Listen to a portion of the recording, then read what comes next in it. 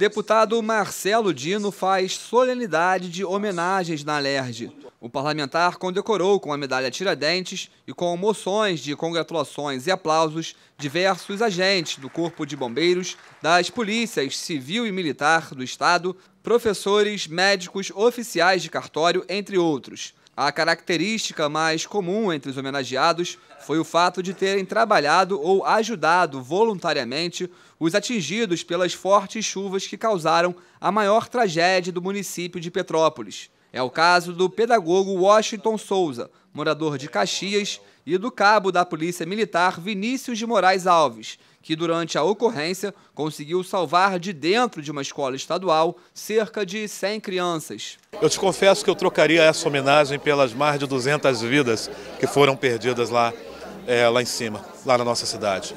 Mas assim, a gente louva a Deus, a gente agradece muito a Deus, porque Ele nos permitiu estar lá numa condição de ajudar.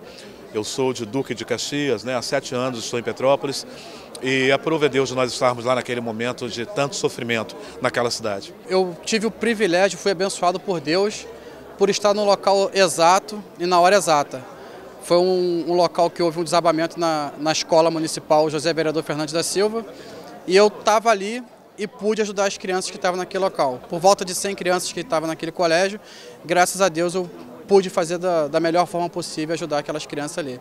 O subcomandante e chefe do Estado-Maior-Geral do Corpo de Bombeiros, Rafael Camilo de Barros Faria, foi condecorado com a medalha Tiradentes e falou sobre o sentimento de receber a maior honraria do Estado em nome da corporação, que tem como principal objetivo servir a população. Olha, é um prazer muito enorme, é uma satisfação também muito grande. Isso é a coroação de um, uma carreira de mais de 30 anos de serviço dedicada à população e à nossa gloriosa corporação.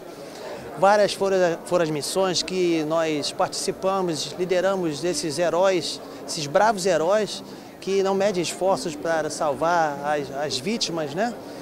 É, nós vemos várias ocorrências que a gente se, se engaja em prol da comunidade e os bombeiros estão lá sempre prontos para salvar a qualquer custo, mesmo com sacrifício da própria vida. Autor das homenagens, o deputado Marcelo Dino agradeceu e enalteceu o trabalho desempenhado pelas forças de segurança do Estado e de todos os voluntários que, por conta própria, se sentiram no dever de ajudar os mais necessitados. São policiais militares, são bombeiros, são policiais civis, são pessoas de diversos segmentos, professores e até outros segmentos de pessoas que realmente fizeram a diferença. Vou dar só um exemplo. Nós temos aqui diversos homenageados que trabalharam voluntariamente em Petrópolis.